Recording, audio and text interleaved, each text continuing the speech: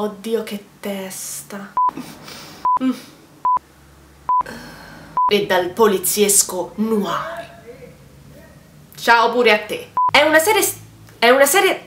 Beh, e non ce la posso fare. Da cui è stato tratto l'omonimo film con... Chi cazzo è?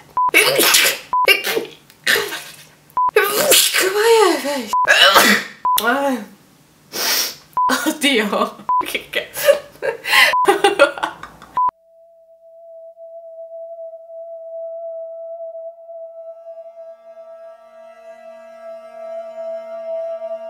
Ciao. Clarice.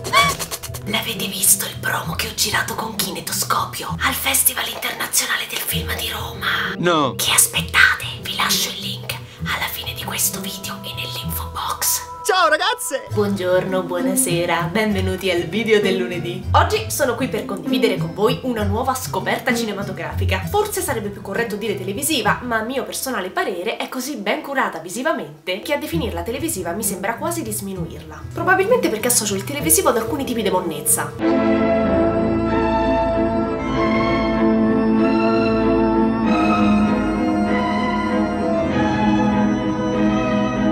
Ci sto a prendere gusto col genere horror, eh? E a proposito di prenderci gusto, oggi vi parlo di una serie tv horror contaminata dallo psicotriller e dal poliziesco noir, Hannibal.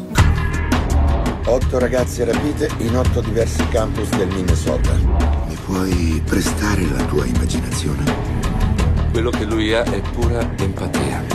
Non conosco questo tipo di psicopatico, non so nemmeno se è uno psicopatico, non è insensibile, non è superficiale. Lui. lui le mangia. È una serie televisiva statunitense basata sui romanzi di Thomas Harris, il famoso scrittore del Tennessee, la cui opera più celebre è il romanzo Il silenzio degli innocenti, da cui è stato tratto l'omonimo film con Anthony Hopkins e Jodie Foster. Ma non è l'unico libro che Harris scrive ispirato al sadico cannibale Hannibal Lecter. Difatti, sette anni prima del Silenzio degli innocenti, nel 1981, è stato pubblicato Il delitto della terza luna, conosciuto anche come Drago Rosso o Red Dragon che nel 2002 è diventato un film diretto da Brett Ratner, sempre con Hopkins ma anche con Edward Norton e Philip Seymour Hoffman. La storia narra degli eventi precedenti alla cattura del dottor Hannibal Lecter ed è proprio al libro Red Dragon che è ispirata la prima stagione di Hannibal, sviluppata per il network NBC da Brian Fuller.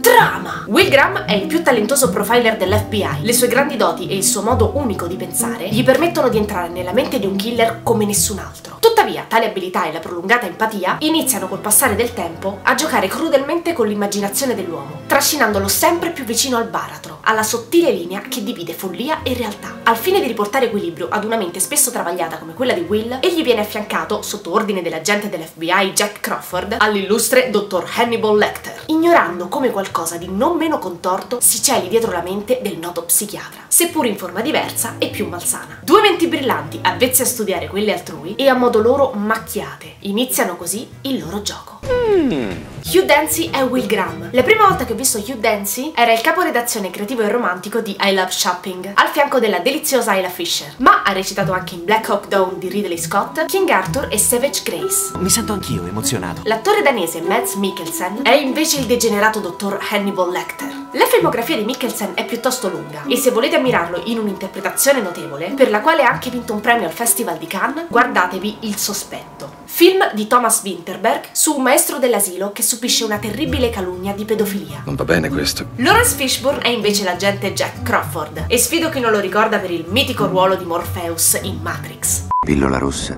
resti nel paese delle meraviglie e vedrai quanto è profonda la tana del bianconiglio. Hannibal è una serie che ha catturato la mia attenzione sin dai primi promo e mi ha definitivamente stregata al primo episodio. I dialoghi sono intriganti, i personaggi sono solidi e tridimensionali. La trama è complessa e intricata, ma ipnotica. E ipnotica è anche la meravigliosa e curatissima fotografia. Come ogni thriller che si rispetti sulla maggior parte delle ambientazioni, regnano colori gelidi e spenti, ma con alcune gustose eccezioni dai colori caldi e vivaci. Gli interni, in modo particolare l'abitazione del dottor Lecter, hanno un'illuminazione da studio fotografico con una luce diffusa e morbida, ma mai piatta Anzi, queste ombre e luci morbide rendono l'atmosfera più densa e rarefatta. Curioso e azzeccato come ogni episodio porti il nome di un piatto della raffinata cucina gourmet. Miam!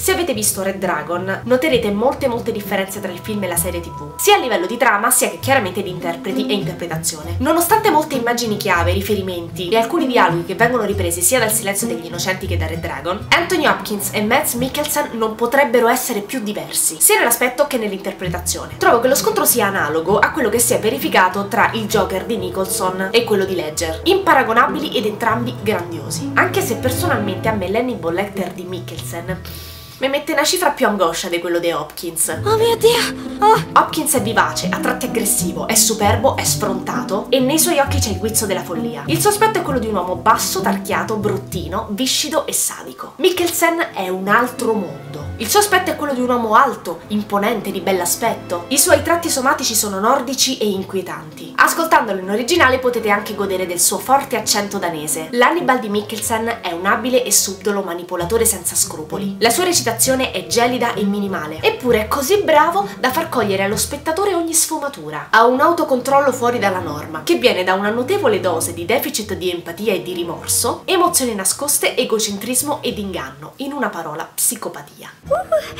Io trovo l'Hannibal di Mikkelsen sublime. Molto diversi anche Will Graham di Norton e quello di Hughes. Edward Norton innanzitutto è più adulto nell'età anagrafica. Nel film interpreta un protagonista fragile ma non troppo. Resta sempre un poliziotto d'esperienza e il dono dell'empatia, che invece nella serie tanto affligge e tormenta Hughes, in Norton non ha una valenza così preponderante e appare più come un'abilità utile ma di cui ha il pieno controllo. Tanto che nel film lo spettatore non è affatto portato a considerare questa empatia al confine con una capacità paranormale, come invece avviene nella serie. Personalmente penso che Norton sia ancora oggettivamente più bravo di Dancy, ma il personaggio delineato per Dancy è molto più affascinante. Il Will Graham della serie è giovane, è inesperto ed è terribilmente emotivo, indifeso e fragile, totalmente in balia delle pericolosissime manipolazioni di Lecter e delle forzature involontarie del suo superiore Jack Crawford, tanto da perdere il controllo di se stesso e della sua vita. Ultima enorme differenza, l'invadente giornalista Freddie Lowndes, che nel film è interpretato dal premio Oscar Philip Seymour Hoffman, mentre nella serie è la rossissima e riccissima Lara Jean, a trasformare il giornalista in un'intrigante impicciona. Come sei entrata tu? Cari, a chi non l'avesse visto vi consiglio vivamente Hannibal. E sono curiosissima di conoscere le impressioni di chi l'ha visto. Fatemi sapere tutto. Femminucce, voi tra Hugh Dancy e Mads Mikkelsen chi preferite? Dai, famo le fazioni! Non farti venire il pepe al culo, va bene? Non dimenticate di sbirciare sul canale di kinetoscopio.it quello che sto combinando a piede libero per il Festival Internazionale del Film di Roma. Vi lascio tutti i link nell'info box. Ciao!